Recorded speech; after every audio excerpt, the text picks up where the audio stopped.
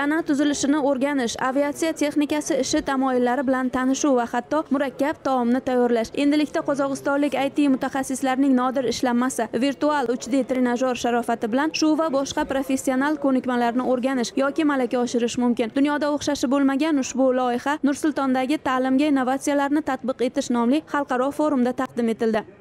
Данные разработки мы делаем с 2012 года, внедрили их по Казахстану. bu ishlanmalar ustida 2012 yildan beri ishlaymiz ularni qozog'iston bo'ylab joriy etdik bu 100 foiz qozog'iston mahsuloti xorij va mdh mamlakatlariga eksport qilamiz rossiyaning sakkiztacha viloyati mazkur ishlanmalarni sotib olgan. Moskvadagi ta'lim ko'rgazmasida mukofot oldik. Shuningdek ishlanmalarimiz o'quv muassasalari va kollejlarda kasbiy texnika texnikumlarida o'rnatilmoqda. Ularni universitetlar ham sotib olyapti профессионально-технических техникумов, а также вот наши разработки приобретают в университеты.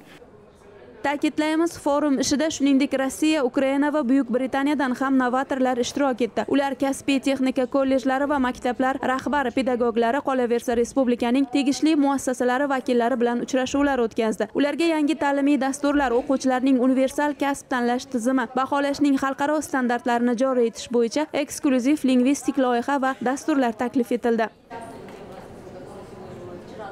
В этом году на этом форуме у нас достаточно широкий круг вопросов, поэтому и площадка joriy yilda ushbu forumda keng doiradagi masalalar yetarli bo'ldi. Shu bois maydoncha forum sifatida belgilandi. Masalalar texnik va kasbiy ta'lim sohasiga oid. Bu yerda biz ish beruvchilar kriteriylarini tatbiq etishdagi mavjud muammolarni texnik va kasbiy ta'lim tizimi bitiruvchilari yangi modulli ta'limiy dasturlar dual ta'lim masalalarini ko'tarishni istagandik. Э, внедрение новых э, модульных образовательных программ дуального обучения.